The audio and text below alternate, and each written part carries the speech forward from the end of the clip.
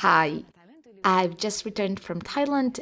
I spent winters in the tropics, be it Thailand, Malaysia, Indonesia, the Philippines, Costa Rica, a country close to equator, because I love sunny and warm weather as well as tropical fruits.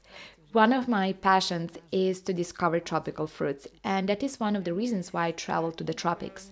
From those travelings, my book Tropical Fruit Guide has emerged. And in this book, I am presenting 40 different tropical fruit varieties.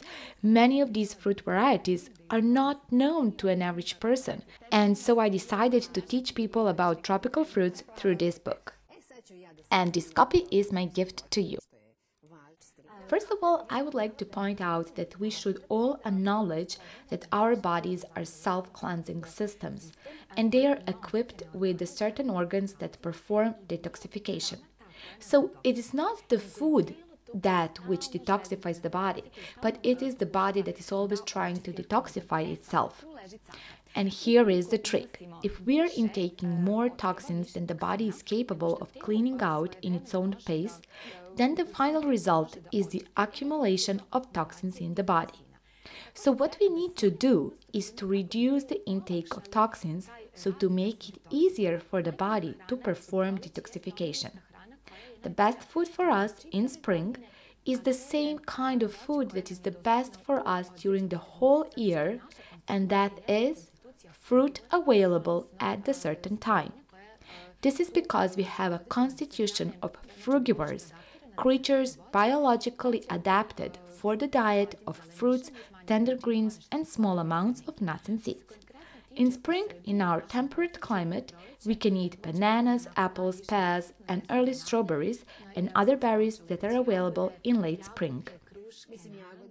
There are researchers showing that the chemical structure of fruits feed the crown of the brain, the upper part of the brain, where centers for thinking, spirituality, morality, and the will sit.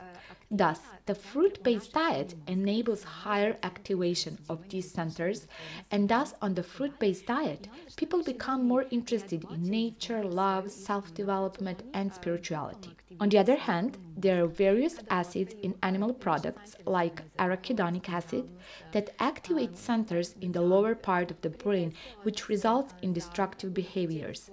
So, I would like to encourage people to eat the living colors of spring, which can be found in fruits. Here we have some bananas, and as you can see, their skins are spotted with brown spots. This is the indicator that the bananas are ripe enough to eat.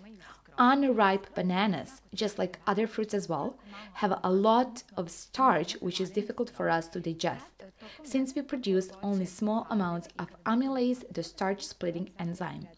When starch ripens up into simple sugars, fruit becomes our best fuel source. Our cells use the simple sugar glucose as their fuel, and fruits are the best source of glucose and fructose, our instant fuel. To give the body the best conditions for detoxification, it is the best that we eat the foods that demand the least energy for digestion. And that food is fruit.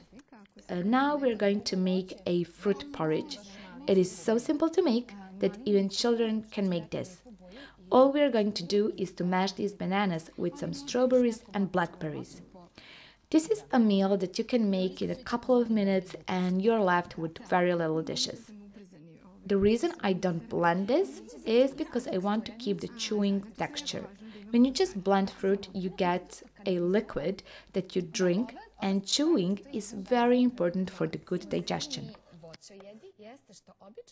You know that when people usually want something sweet after the standard lunch? Well, that is the indicator that the lunch hasn't satisfied their need for sweet. And here is a suggestion. Why not having a sweet lunch, where sweet comes from the best sugar form in nature and that is fruit.